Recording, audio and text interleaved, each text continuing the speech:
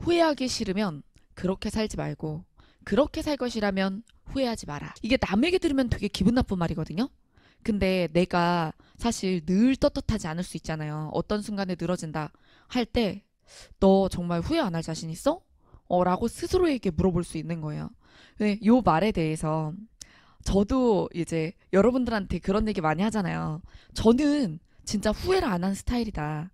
그래서 어, 잘못을 안 하거나 아니면은 실패를 안 한 게 아니라 잘못을 하거나 실패를 하면 이것에 대한 수습에만 신경을 쓴다. 어, 그래서 어떻게 하면 어, 방법이 있지? 어떻게 해결해야 되지? 근데 이래야 한다는 걸 안 게 결국에 나이 먹고 이걸 부단히 어, 실수라든가 실패를 하고 나서였어요. 그러니까 저라고 왜 어, 후회가 없겠어요. 후회를 어릴 때는 많이 했죠.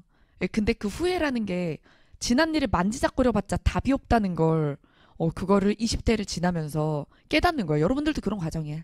예, 근데 이거를 그 후회봤자 소용없어. 그냥 오늘부터 당장 잘해. 라고 제가 말을 하거든요.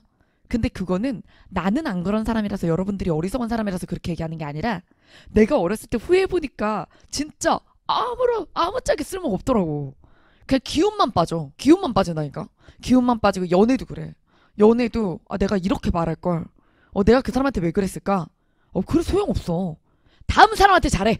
웃자고 한 소리지만 어쨌든 여러분 지난 날들을 어 선생님 제가 여름에 이때 열심히 했었어야 하는데 상담할 때 보면 다 이걸로 시작해.